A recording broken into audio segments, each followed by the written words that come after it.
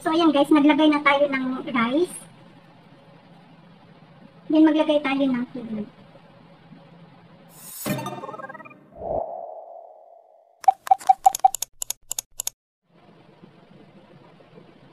Hello guys! Welcome back sa ating channel.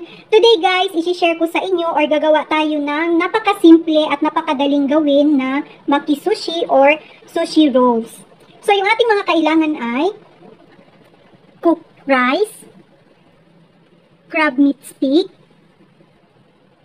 canned tuna, white onion, and then yung ating sushi nori or seaweed.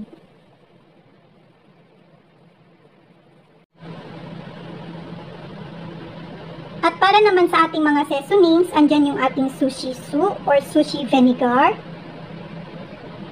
mayonnaise,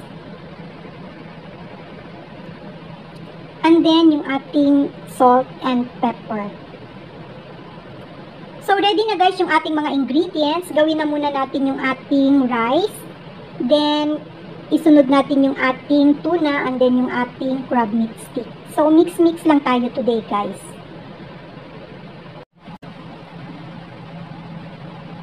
So, maglagay lang tayo ng vinegar dito sa ating rice.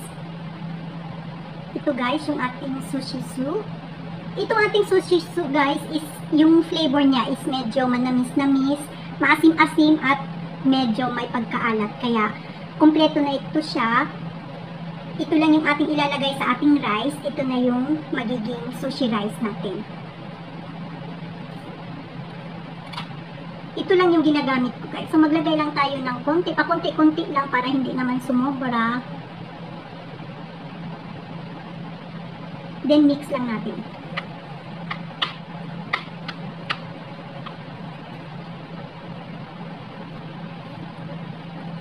Na-mix na natin ang mabuti yung ating rice. Set aside muna natin ito guys. Then gagawin natin yung ating crab meat stick, then yung ating tuna.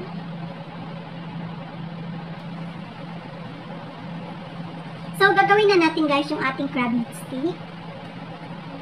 Ilagay lang natin dito ang ating onion.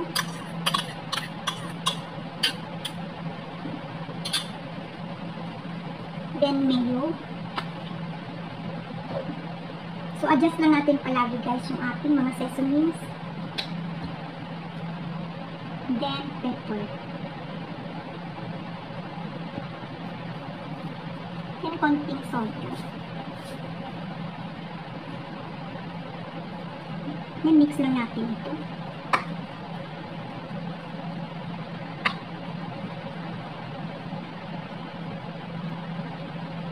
So, ayan guys, na-mix na natin mabuti yung ating crab meat stick. Set aside na muna natin din. Isunod natin gawin yung ating tuna.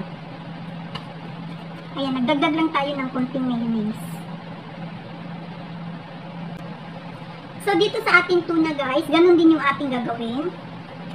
Ilagay lang natin yung ating onion.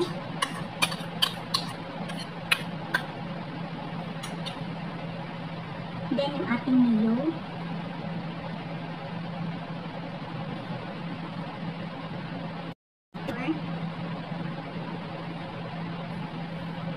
So,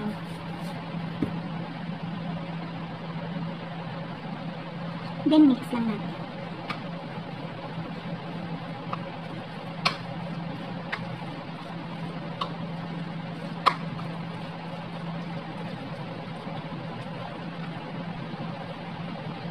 Ayan guys, ready na din yung ating tuna.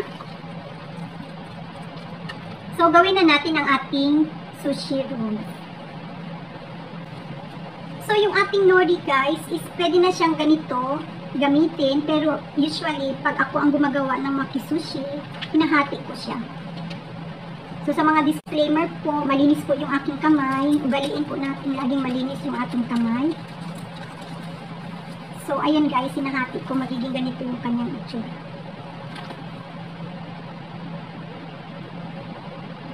So, ganito lang siya guys. Then, maglagay na tayo ng rice.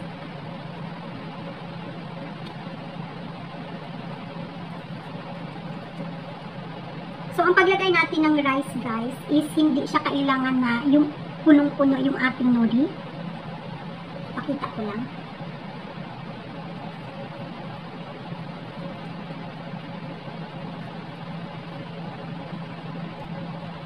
So, dapat ganito lang guys ang pagkalagay ng rice. May space pa tayo dito at saka dito.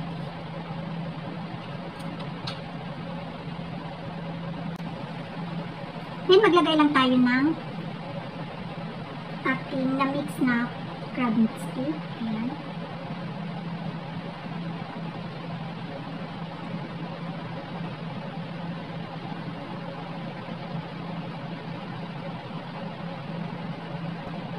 Then, i-roll lang natin ito.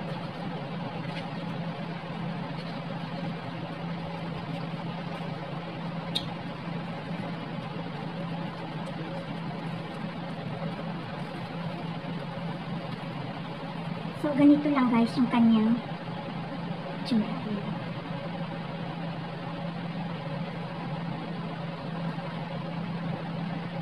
So, ganito din guys yung ating gagawin sa ating tuna. So, ayan guys, naglagay na tayo ng rice. Then, maglagay tayo ng tubig.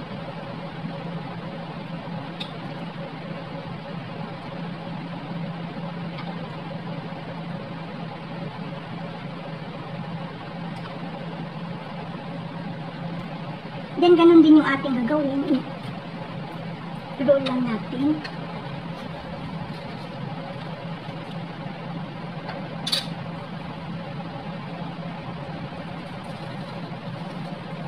So, ayan.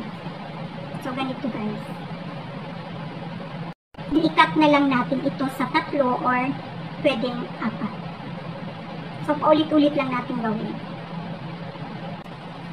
So, ito na guys ang ating nagawa. Ayan, slice lang natin ito then ready to serve na. Jaran! Kainan na! So guys, napakasimple lang yung ginawa natin for today, yung ating sushi roll. Sana nagkaroon kayo ng ideas kung paano gumawa. Pwede tayong gumawa sa ating bahay kung meron lang tayong mga ingredients. So, thank you so much for watching. Hanggang sa susunod. Bye!